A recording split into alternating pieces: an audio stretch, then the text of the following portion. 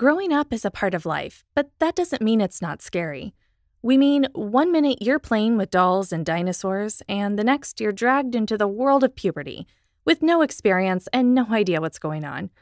It's confusing, we get it. And for us girls, understanding ovulation can feel like solving a Rubik's Cube.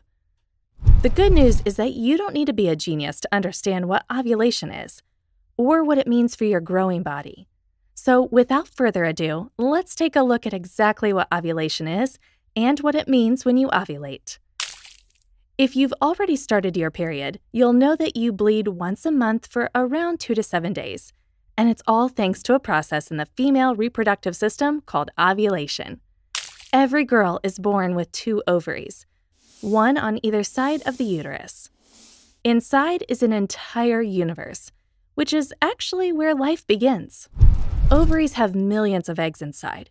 In fact, all the eggs you'll ever own have been there since before you were born.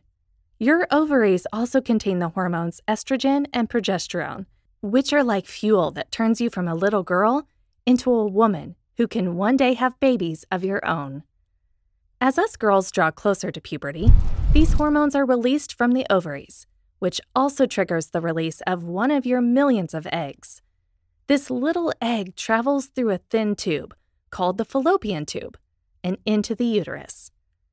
Any time between the ages of 10 and 15, the lining of your uterus will build up, which is actually your body's way of telling you that it's ready to have a baby. But you're not ready yet, and that's why your reproductive system has a backup plan. If an egg is released and it doesn't get fertilized by sperm, we'll talk about that in another video, then the buildup lining is released. This is what you know as a period.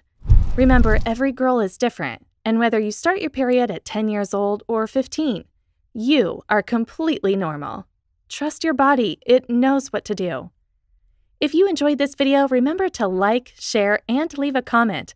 And don't forget to subscribe to learn more about what your body is doing and why.